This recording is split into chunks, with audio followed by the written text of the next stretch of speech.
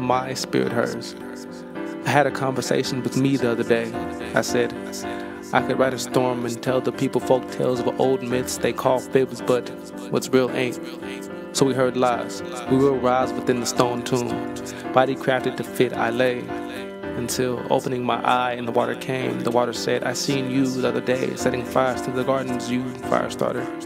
Looked at her and said, What's a garden of fake roses bloomed in a garden of real petals and beds which used to be flowers? I lie to protect you.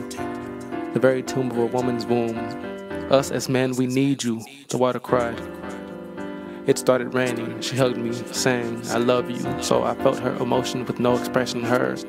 Waters moved at her exit. I looked to the sun's crest peeking over the water. I watched the wedding. I would never see her again. Speaking deeply in imaginative thought, I'm thinking, would I ever so walk alone, playing with fire you burn, unmeaningful without fault? I wanted to jump into the drought. From this painful salt, thoughts not suicide, I ran. The sand of her beaches, then the sun's spirit came, her rays calmed. O oh, Pharaoh, she proclaimed seductively, why do you ever so dine alone?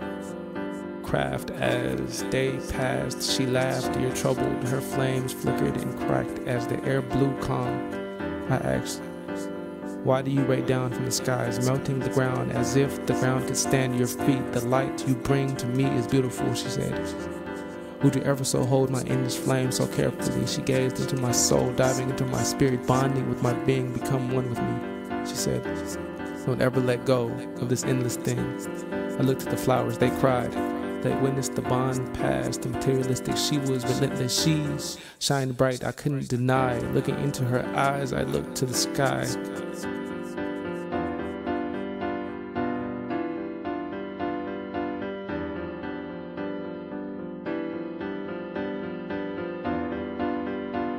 Forced to be alone to truly in love.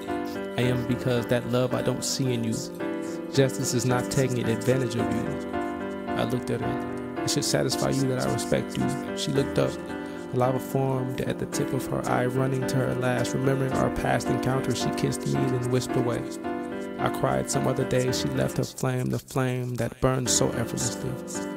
Cracking against the wind, dancing with fire, water running, a sound formed. I watched the flame flicker day by day. I felt their pain. I Took deep breaths, feeling my lungs expand. The winds came. Are you here to persuade? I cannot do this anymore. I looked at her, knowing I could not escape the sun nor the rain. When the wind came, she said, You're in pain. Why do you walk this plane in burden? I said, Because the burden reminds me of who I am. She said, Why do you hold their spirit so close when you can have anything? I looked at her and said, Anything is nothing to me. It's not the things she does, or the things I've seen within this love thing. You are all over me. I fall as if my heart has been ripped from my chest. When you are the air us men need for nourishment of the lungs we need to breathe, remembering the water's tears, the sunshine's lava, she came to me. She rose me up, staring deeply. She whispered, I want you like I want marriage. I want you like I desire happiness. I want you like I'm committed to you craving, you fiending. I looked in space, seeing visions of our happiness. Swift she is, I said, I lie, I lie. I cannot share these feelings. She left. That's the last of her spirit I saw again. I returned to my tomb and retained my regret. I lie, I lie, my spirit hers.